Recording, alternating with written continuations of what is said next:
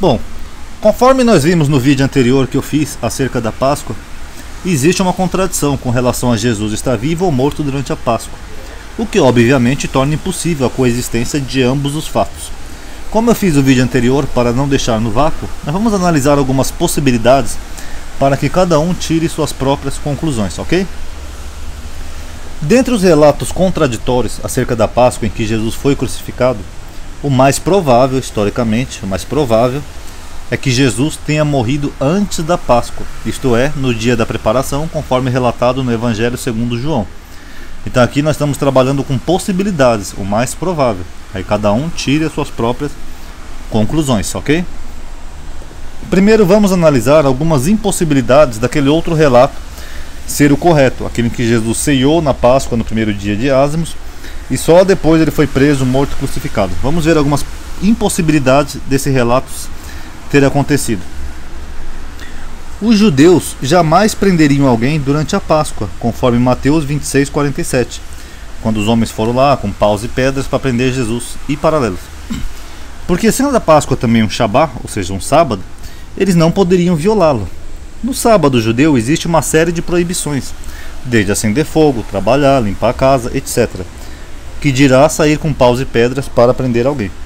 Então, para explicar aqui melhor para vocês, o sábado judeu é uma festa que é considerada um Shabat, independente do dia da semana que caia. Ele é um sábado. E o sábado judeu, todo mundo sabe que é uma, tem uma série de regras e proibições de tudo.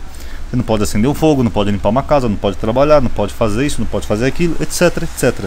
A mesma coisa a Páscoa. Na Páscoa o judeu não pode fazer uma série de coisas porque ele tem que guardar o sábado. Então é no mínimo estranho que você veja aqui no relato do Novo Testamento que eles estavam na Páscoa, Jesus acabou de cear, ele vai no Monte das Oliveiras orar com seus apóstolos e de repente chegam alguns homens a pedido dos fariseus com paus e pedras para prenderem Jesus. Então isso já seria um pouco estranho e improvável, ok?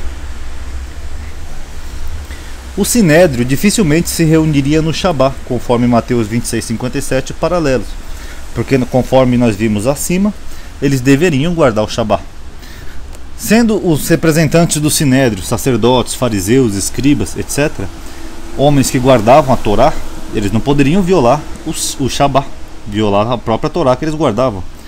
Então é estranho você ver aqui, por exemplo, na prisão de Jesus, que o Sinédrio estava reunido para julgá-lo e condená-lo durante uma das festas mais importantes do calendário judaico, que era a Páscoa, que não deixa de ser um Shabat. Então, se a gente for seguir pelo lado histórico da tradição judaica, o mais provável era que eles esperassem passar a Páscoa e julgassem Jesus, ou antes da Páscoa, para não cometer o erro de, de estar trabalhando e fazendo um ato no sábado, ok? A ceia judaica jamais é celebrada com, com vinho, conforme Mateus 26, 27. Porque sendo a festa dos ázimos, isto é, sem fermento, eles não poderiam celebrá-la com uma bebida fermentada. Conforme eu falei no meu vídeo sobre o vinho na Bíblia, era muito improvável que Jesus tenha bebido um vinho fermentado durante a última ceia. Porque se é a festa dos ázimos, você não vai poder consumir uma coisa que tenha fermento, que fermente. Porque o fermento, conforme eu já falei, todo mundo sabe, ele representa pecado no judaísmo. O próprio Jesus falou, né? Cuidado com o fermento dos fariseus.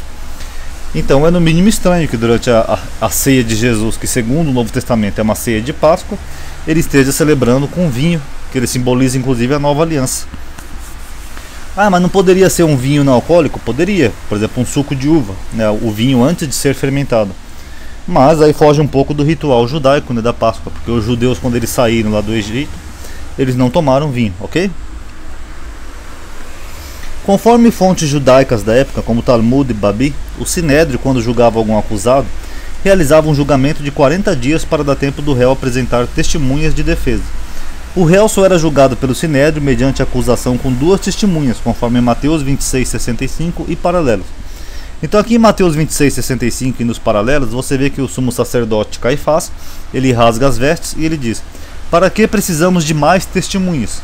Que isso era um procedimento do Sinédrio da época, julgar um réu com testemunhas. Então isso aqui está de acordo com a época. Mas o problema é o que? O problema é que eles não julgavam o réu assim no piscar de olhos, como nós vemos ali que o Sinédrio decide que Jesus era culpado e já manda ele para Pilatos. Ao contrário, os judeus eram inimigos de Roma. O que acontece é que eles, naquela época eles esperavam 40 dias, conforme a lei dos judeus, para poder julgar o condenado. Esses 40 dias era o tempo que eles davam para o réu apresentar alguma defesa, alguma prova ou testemunhas, duas testemunhas no mínimo, que pudessem defendê-lo. Tanto que você pode ver no Talmud mesmo, Talmud babilônico, tem um outro Yeshua, que não é Jesus, mas é o mesmo nome, né? Yeshua, que foi julgado e ele esperou 40 dias para ser condenado pelo Sinédrio, conforme a época, ok? Desde o ano 100 a.C., a religião mais proeminente no Império Romano era o mitraísmo, cujos adeptos se reuniam em cavernas e catacumbas e celebravam o deus solar Mitra em um ritual celebrado com pão e vinho onde eles comiam e bebiam simbolicamente o corpo e o sangue do deus Mitra. A Páscoa judaica era feita com um cordeiro e após a ceia os judeus só comiam pães sem fermentos e ervas amargas. Então, esse ritual de pão e vinho, ele não é original dos judeus. Na Páscoa dos judeus eles comiam cordeiro, ceiavam e as ervas amargas para lembrar do tempo do, do cativeiro. Esse ritual de pão e vinho apesar de dos judeus sim comerem pão, porque era o pão ázimo, né, o pão sem fermento, esse ritual do pão e vinho era um ritual que já existia em Roma, que era o ritual de Mitra, o deus solar, onde eles comiam simbolicamente o corpo e o sangue do deus Mitra. Então pode ser só uma coincidência, mas aí cada um tire suas próprias conclusões. Não existe nenhum registro velho testamentário de que o Messias seria preso durante a Páscoa, conforme Mateus 26:31 e paralelos.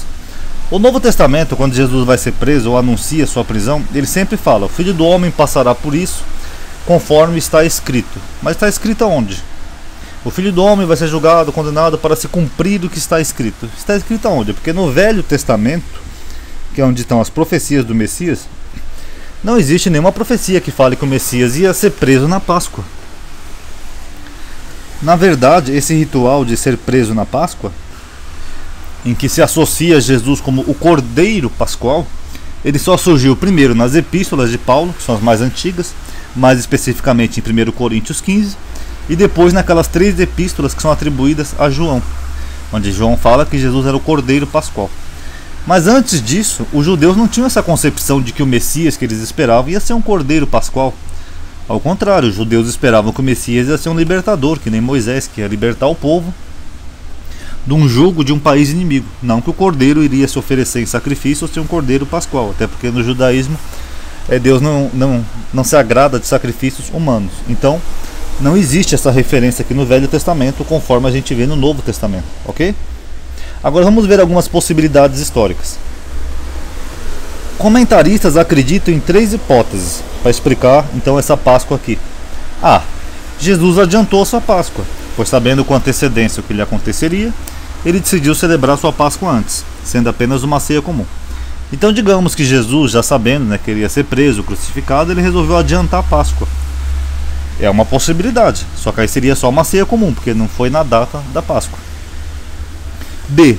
Jesus não celebrou a Páscoa, mas uma ceia de despedida apenas e, posteriormente, a igreja associou tal ceia à Páscoa. Também é uma possibilidade de que ele tenha feito só uma ceia de despedida para se despedir dos seus apóstolos e instituir ali, por exemplo, a nova aliança. E depois a igreja tem associado essa ceia como a ceia pascual. Também é uma possibilidade. Ou até os primeiros cristãos, digamos assim. Ou se Jesus celebrou a Páscoa e posteriormente a igreja sincretizou sua ceia com o ritual já praticado em Roma pelos mitraicos, a fim de atrair mais adeptos e tornar o cristianismo mais inclusivo. Neste caso, Jesus teria sido executado depois da Páscoa. Então, alguns teólogos e comentaristas também acreditam que sim, Jesus ceiou sim na Páscoa, mas ele não foi preso e morto na Páscoa, talvez até possivelmente 40 dias depois, conforme a lei dos judeus da época. E aí, posteriormente, a igreja tenha pegado a ceia dele, que teria sido uma ceia judaica, e tenha colocado os elementos de Mitra para fazer aquela inclusão, né, para atrair mais adeptos, colocando pão e vinho, aquela frase de que simbolicamente comereis meu corpo e bebereis meu sangue, etc e tal, talvez possa ter sido um sincretismo. Mas aí vai ao critério de cada um. São três possibilidades. E aqui as impossibilidades, ok? Cada um tire suas próprias conclusões. Paz a todos.